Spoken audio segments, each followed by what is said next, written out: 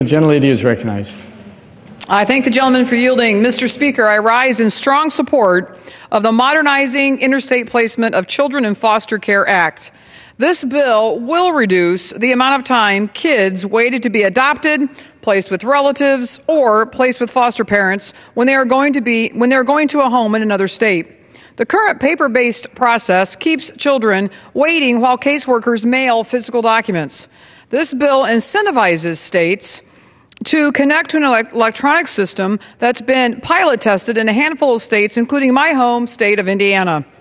Getting at risk kids into a stable, permanent environment as quick as possible is critical to allowing them to thrive and reach their full potential. Each day they spend waiting for paperwork to be mailed back and forth is time wasted unnecessarily. I want to thank my colleague, Congressman Young, for his leadership on this issue.